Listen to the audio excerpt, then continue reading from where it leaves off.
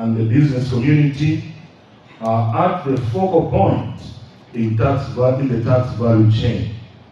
ZICA therefore recognizes this crucial role that you as accountants play in national development. Tax collection process is incomplete without accountants and as such ZICA will always endeavor to keep members abreast with the latest developments in tax legislation. This is the reason why tax workshops will continue to be an annual feature of the Institute's CPD calendar. The workshop, as I said earlier, is very important as it allows members of the profession and other stakeholders indeed to get updates, updates on the changes in the various pieces of legislation affecting the taxation regime in the country.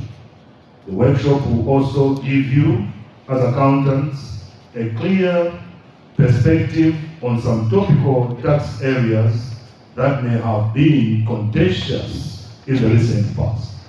We have included plenary sessions in the program to allow participants a chance to share the daily tax application challenges that they may face. I therefore urge you to participate actively and bring out issues so that in the future the Institute can tailor such workshops with your needs in mind. Ladies and gentlemen, compliance with tax law is the cornerstone of good corporate citizenship for business and unwavering patriotism for a professional accountant. For us, as an institute, compliance is not just a policy, but also a culture.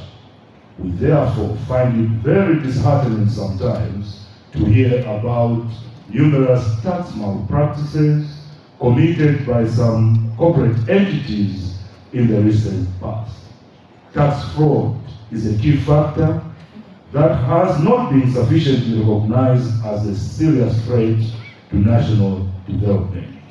Yet studies suggest that the amount of money that developing countries such as ours lose because of tax fraud amounts to several hundred billions of dollars annually. I urge all